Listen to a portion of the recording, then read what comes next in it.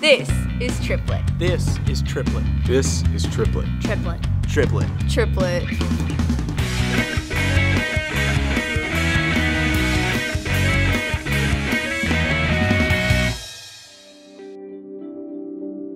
Hi, my name is Samantha and I'm a senior in high school. I've been doing student choir since I was in middle school. I remember coming into choir and being really nervous and intimidated by the older kids. So here are three ways to welcome freshmen into choir. One, welcome the freshmen with a prayer. You may not remember how hard it is for a freshman to walk into a class full of seniors and juniors and all the older kids who make them feel nervous. In my choir, I remembered when we welcomed the freshmen at the first day of choir and we all sat around them and joined hands and prayed for them as they were starting the journey in the choir. It was a really uplifting experience and the freshmen felt excited and welcomed into the choir.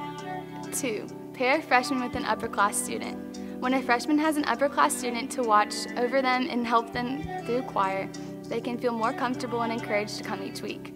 I remember when I was a freshman and I walked into choir on my first day, a senior was there to welcome me and invited me to sit next to her, so that way I felt more comfortable in the choir environment. Three, keep the freshman students accountable.